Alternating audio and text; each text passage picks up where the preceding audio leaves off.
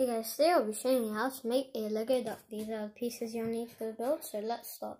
First, we're going to start off with the head, so we're going to need this shoe piece, and then this green slope, and then this um, stud, and then put it on, and then this white stud, put it under, and then this jump plate. Then, we're going to need two of these. You could even get it like to be like stuck together, but yeah, I'll just do it this way. So, yep, this here and then this, and doesn't really connect yet, but then we're going to need this.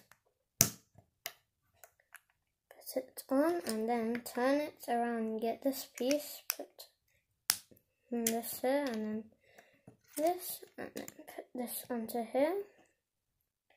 Turn this around, put this on, and then this here and this and then put this onto here and then put this one, turn it around again put this onto here. This is going to be basically the place for its feet so put these two yellow studs basically the knees of the legs and then this this you can style the legs how it how you want. Um, so yeah, I'm just gonna do it like this. Here is the finished duck.